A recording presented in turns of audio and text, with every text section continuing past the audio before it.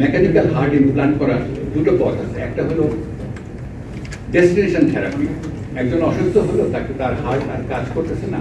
Is dying of is heart disease তাকে একটা mechanical heart লাগে। না ডেস্টিনেশন থেরাপি কাদের করা হয়? যাদের বয়স সিক্সটি নাইন অ্যান্ড অ্যাবাভ উনসত্তর বছর এমন অ্যাবাভ তাদেরকে এই ডেস্টিনেশন থেরাপি করা হয়। যে উনি বাকি দিন যত থাকবে ততদিন এই মেশিন নিয়েই থাকবে আরেকটা হলো bridge of transplant bridge to transplant এখন যে পেশেন্ট আমরা অপারেশন করেছি বিয়াল্লিশ বছর ওনার বয়সই ব্যাপার।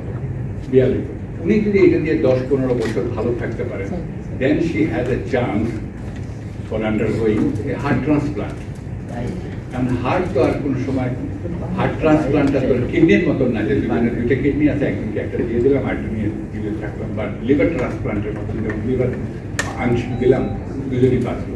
হার্ট তো একটাই হার্ট তো একটাই এটা তো শেলফে পাওয়া যায় না। একজনকে দিতে হবে। তো যারা ব্রেন ডেথ তারাই হার্ট ট্রান্সপ্লান্টের জন্য হার্টটা দেয়। এটা এটা নমিনেশন আছে, এটা দিয়ে আছে। আমাদের দেশে উনিশশো দুই হাজার আঠারো সনে পার্লামেন্টে বিল পাস হয়েছে for heart transplant we are very much eager এটা কীভাবে করব, কীভাবে এটাকে সহায়তা করব। পার্শ্ববর্তী দেশ, সব দেশে এটা হচ্ছে, বিশ্বের সব জায়গায় হচ্ছে। তো এখন এই পেশেন্টের জন্য সম্ভবত আমরা এখন এই দিন চলবো। চলার পরে যদি উনি আবার কোনো সময়, কোনো কারণে খারাপের দিকে যান তো she has a chance for undergoing heart transplant এবং এটার জন্য অনেক বড় একটা চ্যালেঞ্জ নিতে হয়, এই ট্রিটমেন্ট কীভাবে ইয়ে করতে সেজন্য আমরা এই দিক দিয়ে খুব আমরা বোঝাচ্ছি, আরও বোঝাচ্ছি। তো আমি আশা করি যে এর পরবর্তীতে এরকম দেশের এরকম ধরনের রোগীগুলি বাংলাদেশে যেন ট্রিটমেন্ট হয়। এখন হার্ট ফেলিয়ারের যে পেশেন্টগুলি ম্যাক্সিমাম বাসা থেকে আসে, আমাদের অর্থসামাজিক অবস্থা এরকম না, বিদেশের মতো, উন্নত বিশ্বের মতো, যে তাদেরকে হসপিটালে রেখে রেখে চিকিৎসা করতে হয়। তো গ্র্যাজুয়ালি যদি আমরা এই ট্রিটমেন্টটা অফার করতে পারি, যারা সচ্ছল, তারা হয়তো এই চিকিৎসাটা নিতে পারবে।